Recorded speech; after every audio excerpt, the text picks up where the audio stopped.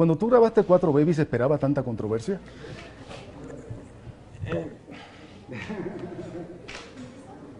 Es que yo creo que vinimos a hacer la entrevista de lo de Pipe, no... Sí, pero también vamos a hacer un ping-pong, ¿no? Ok, ¿cuál es tu opinión sobre el trap? ¿Tú grabarías un trap? Ay, Dios mío. Yo creo, yo creo que no debería responder la gente. ¿No? No, aquí... Qué Eh, pena, Pipe, qué pena, Pipe, tú sabes que yo...